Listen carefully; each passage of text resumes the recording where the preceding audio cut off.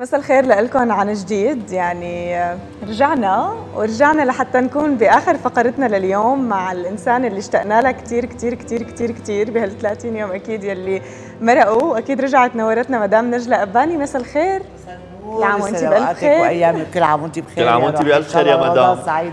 الله يسلمك وفطر سعيد يا رب للجميع. يا رب اشتقنا لك كثير وأنا أيضا جدا جدا جدا. الله يخليكي واشتقنا نسمع هيك حظوظنا وتوقعات الفلك والأبراج. قبل ما نفوت بتوقعات الأبراج ال 12 كيف الخريطة الفلكية؟ صار لنا شهر ما سمعنا. طبعا هلأ عطارد كوكب السفر والأوراق والمستندات يتقدم في الجوزاء امم which is not good. الزهرة اليوم بقى دخلت على برج الحمل ريحت لأنه كانت بالحوت. كانت مضايقة العذراء طبعا والقوس والجوزاء. فهلأ راحت على برج الحمل. المشتري كوكب الحظوظ السعيدة ما زال يتقدم في برج الحوت كمان which is not good. جوزاء وعذراء وقوس والمريخ أيضا في برج الحوت كنت عم أقول لمدام نجلاء كوكب الصحة. الصبح إنه شو عم يصير مع العذراء صار لنا أربع خمس أيام صرف مصاري أعطال تقنية طبعا لأنه الزهرة كانت فنية. في الحمل. في الحوت فأمورك المالية كثير سيئة. مرقوا العذراء والجوزاء والقوس بشهر كان كثير متعب. هلأ بلشت الأمور أريح بكثير بقى. إن شاء الله الأيام السعيدة للجميع. يجعل أيامكم سعيدة وتضلوا دائما بخير. طبعا اليوم اثنين أيار يعني اليوم الحمل عاطفيا هو سعيد خاصة بدخول الزهرة بقى. لبرجه عم بيخلي عنده أفق مستقبلية فرح مع عائله يمكن بسبب سفر أو قصص العلاقة بتغييرات. أو زيارات أو على المستوى العاطفي الشخصي. أمورك جيدة جدا. طاقة حيوية نوع من أنواع الهدوء والتواصل الجيد مع الآخرين. مولود برج الثور الحقيقة عم بفكر ببعض الأمور المالية ومحتاج لشوية تنظيم خاصة إنه أنت من الأشخاص اللي بتتمتعوا بالرفاهيه لك أو لغيرك أنا بظن إنه اليوم مصروف إضافي فحابب عيد يعني تروح آه، تاخذ الأهل العيلة سيران يمكن أو زيارة. وصرفك ما عم بيقل بهي الفترات. والحقيقة هو عطارد كوكب المال بالنسبة لك هو في بيت المال. فالأمور جيدة على الصعيد المالي لكن المشكلة عنده تراجع. فبالقطع من بعد عشرة رح تبلش يلزمك صرف إضافي. فكتير انتبه على هي القصة إنه هذا الشهر للمصروف الإضافي مولود برج الثور.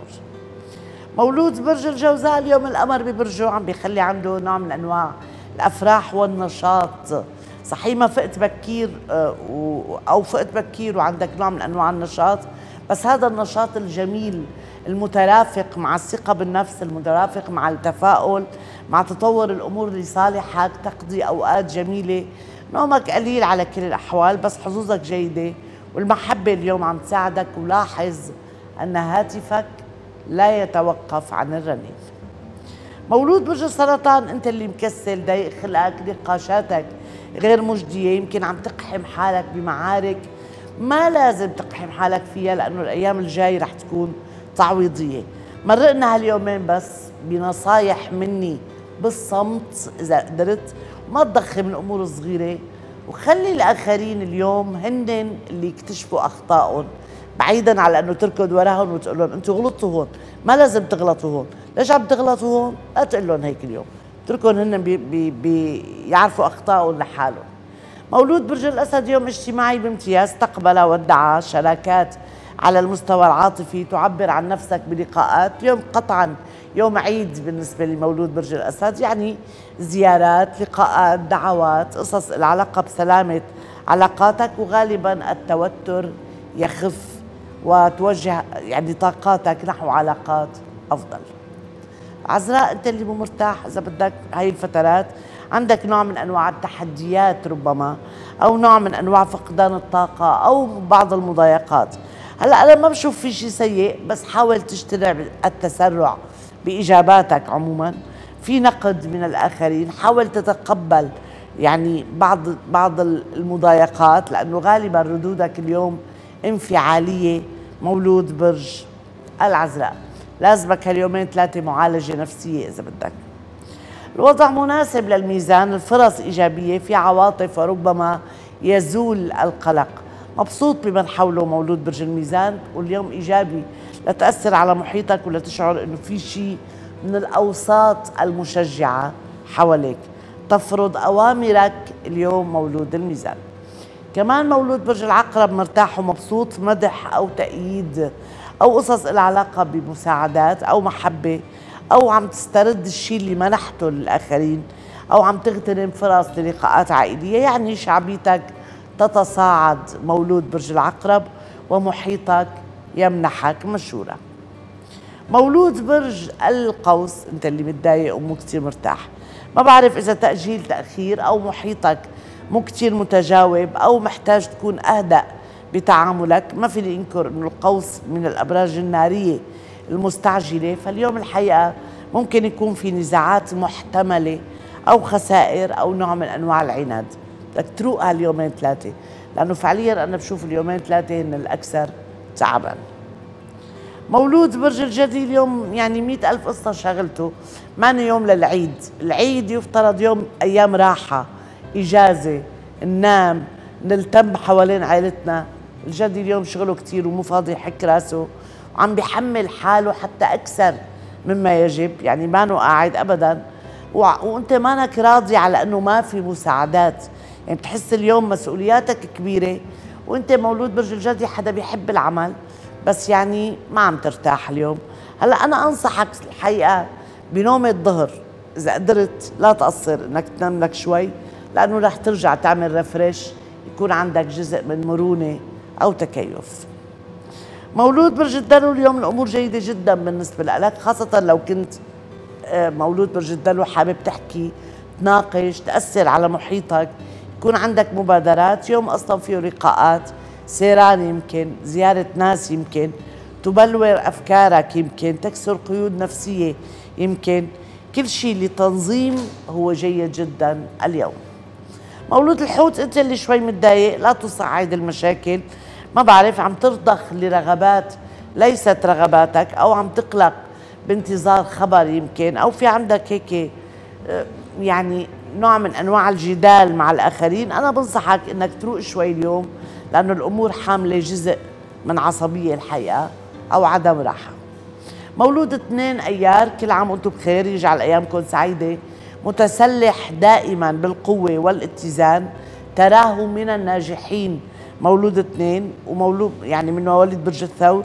يزن أموره يفكر كثيرا قبل الإقدام على أي مشروع حتى لو مشروع صداقة ما بيصادقك بسرعة بتحس إنه بيترك حاجز بينك وبينه لبين ما هيك يرتاح لك قلبه يقول لك إنه يقول له إنه إيه هذا الإنسان قابل معنا للصداقة. يمكن يجربك حتى لأنه هو لا يحتمل الفشل يفكر قبل أن يتصرف.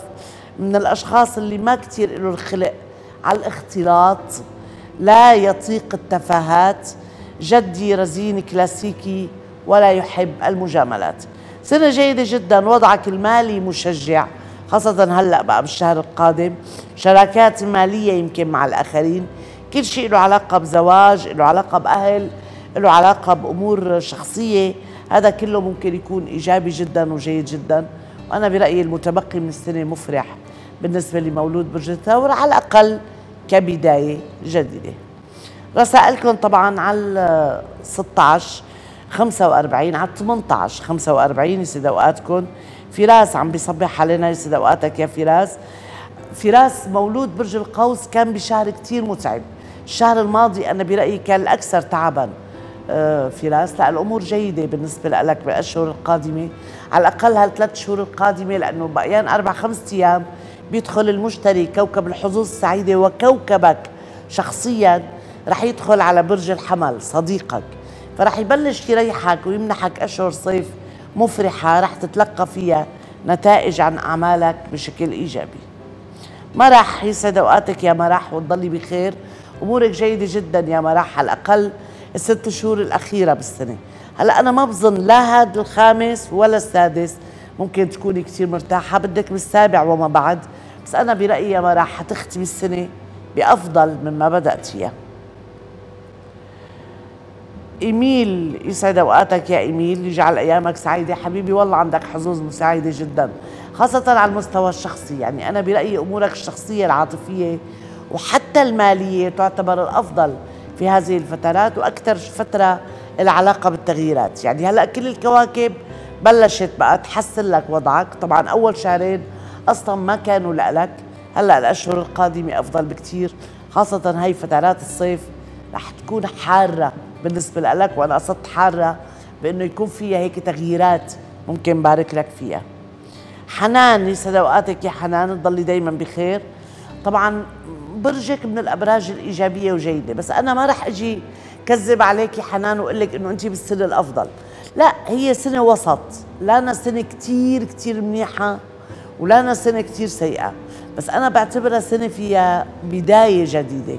أنا بقول لهم مثل كأنه عم عم يزرع هاي الفترات مثل كأنه عم يبني مثل كأنه داخل شغل جديد ممكن خطبة إذا وضعك يسمح. يعني بس تغيير تغيير أساسي وجذري ممكن يكون آخر شهرين ثلاثة بالسنة. بس هاي الفترات أنا لا أرجح. حياة يسعد اوقاتك يا حياة وتضلي بخير. حياة أمورك إيجابية وجيدة على الأقل هالثلاث شهور. هلأ أنا اللي بقيان بالي عليه هاي السنة بالنسبة لك هي الأمور الصحية. أنا ما كثير بشوفك صحيا تعتبري الأفضل خاصة إنه بقى أنت مولده 65 يعني قصدي بلشت الأمور بقى يعني بدها شوية تنبيه على المستوى الصحي. هلأ أنا برأيي آخر أشهر السنة أكثر من هاي الفترات. هلأ في يعني ثامن تاسع ممكن يكون ترجعي تهدي شوي آخر شهرين بالسنة. بس أنا بقصد إنه السنة كثير مهمة لنوع من أنواع التغييرات العاطفية إذا على بالك أو العائلية. ما بعرف إذا عم تفكري بسفر عم تفكري بسفر؟ لأنه وارد يكون في سفر هذا العام. فؤاد يسعد أوقاتك يا فؤاد وتضلك بخير. فؤاد سنة كثير مهمة ومحظوظة. بس لسه معك لعشرين خمسة. في جزء من تعب صحي. كونك أنت عم تسألني صحيا. لا العشرين يوم اللي مضوا ولا العشرين يوم الجايين. يعني لازم تنتبه صحيا. فيهم نوع من أنواع التعب الصحي. هلأ هي كسنه سنة جيدة. بس إذا عندك شيء قلقك حاول تستشير مختص. وهذا أفضل ما نفعله جميعا.